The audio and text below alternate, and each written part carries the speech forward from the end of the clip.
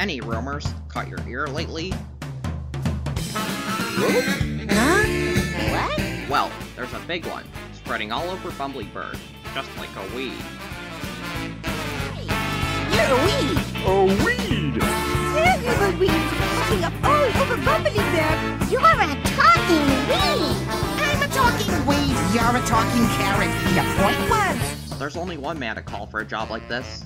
America's favorite plunger-headed hero, Larry Boy. I can do that.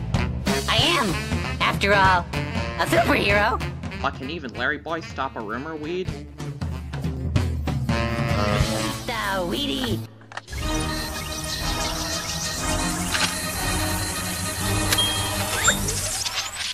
Wrong button. Yes, Larry Boy's back in the biggest VeggieTales adventure ever, with a great lesson in the power of words.